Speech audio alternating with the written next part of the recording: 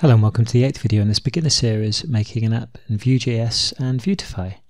So starting from where we were in the last video we can select our nation, everything's good. In this video I want to call a function when I select something here because a little bit of a surprise where when you do that with the way things are working and I'd like to display the player data just purely as a JSON below from our object uh, for the relevant country that we select. So starting with the uh, function then, um, if I just take this from on click with our button, we've got this v on and click calls a function. Well, exactly the same thing with a small change for a select. Here we have to just say v on and change, and then whatever function we ask to call that's inside the method section of our uh, Vue uh, application object will be then called. So I'm just going to call this selection changed.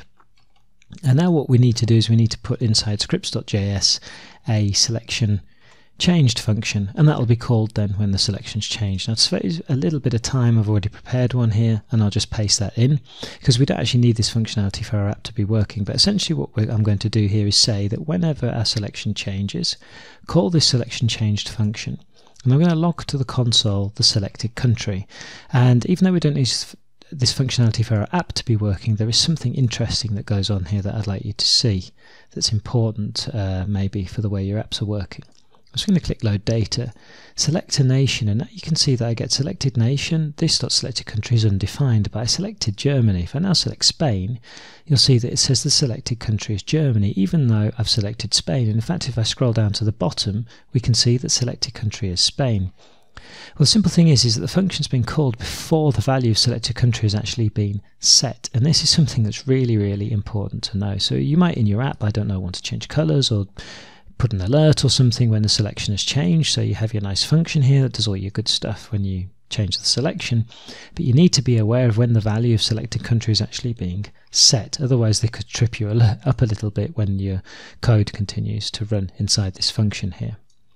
So getting back to the main thing that we need to do in the app, we need to display eventually a table uh, underneath here.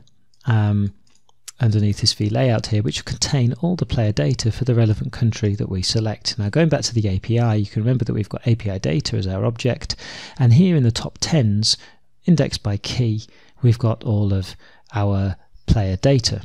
So what I want to be able to do is take my selected country key and then select from top tens the relevant country, which contains then a list of all the top players, top 10 players in that country.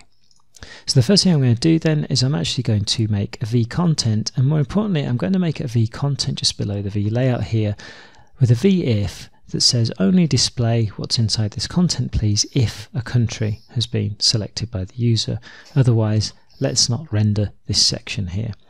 And now comes the trickiest part, but hopefully after a few videos it's fairly uh, self-explanatory now. We actually have to get what we want to display. Where in our case we want API data, but what we want, as I said now, is we actually want to go into the top 10. So top underscore 10s, reminding myself as well. So top underscore 10s.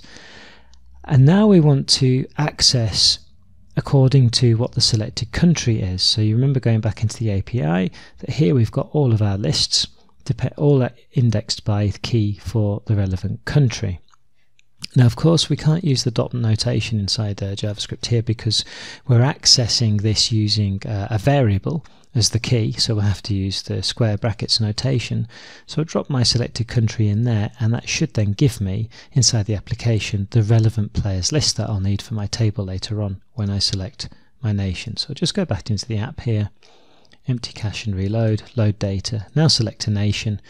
And here you can see now I've got a list of some objects and the first player on here is Manuel Neuer, plays for Germany, so things look alright. I can select then France. First player I've got here is Antoine Griezmann, plays for France. So that's us up and run running and in future then when we start building the, the app underneath we can start rendering our table properly with the information that's inside here. Okay then, so that's uh, relatively simple, just finishing off the MD select then. So the v on change calling your function, making sure you're aware of exactly when we set the value. And then here simply using, we have to use the brackets notation when we've actually accessing, uh, using a key that's based on a variable. Here using our API, accessing our API to display our list of players. So relatively short and sweet. If you've got any problems or confused or anything, drop me a, a comment in the YouTube video. Otherwise, thanks very much for watching and see you in the next one.